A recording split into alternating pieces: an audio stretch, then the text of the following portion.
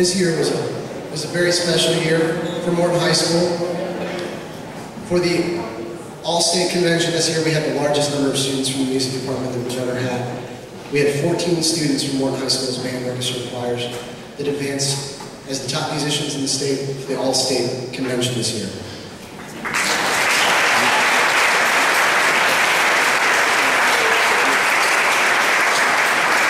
Among those students, one of the choir members is also a member of our group. Courtney Daniel, can you stand up? Let's give Courtney a round of applause. She was this year.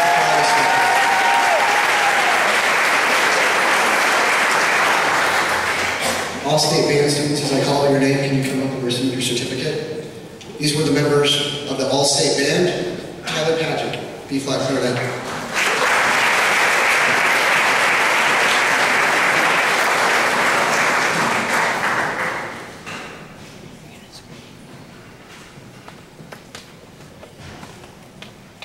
clarinet. Joey Zimniak, bass clarinet.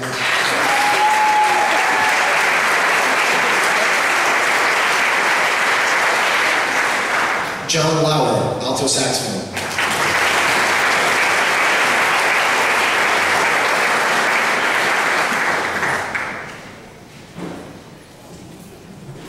Luke Peterson, baritone saxophone.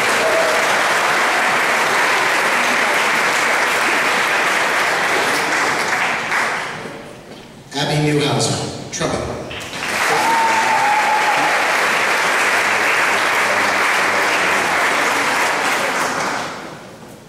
Jeffrey Roshmore, trumpet.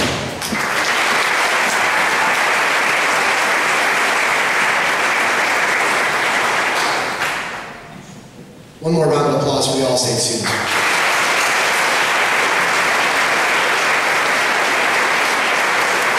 The band had eight total that advanced to All-State, and two of our performers made it to the top of the top of the honors band. And those students were Mitchell Lutz and Chloe Spanier.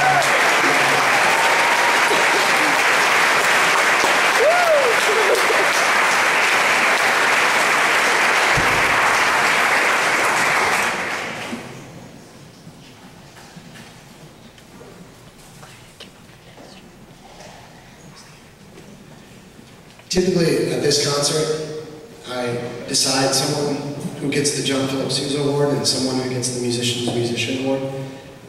This year, I couldn't decide. How, how often in your career do you have two just amazing musicians in your group at the same time?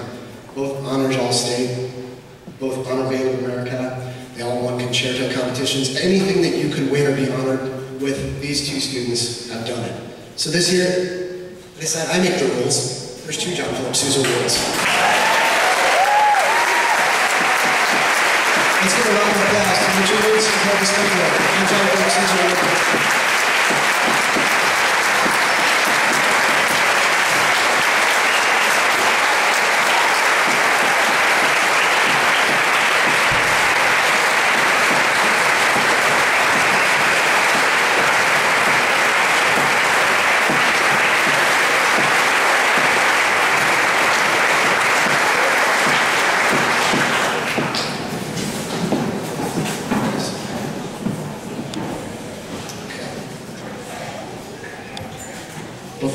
Guys, your pen and your little styrofoam epoxy thing very anti-Pepsi.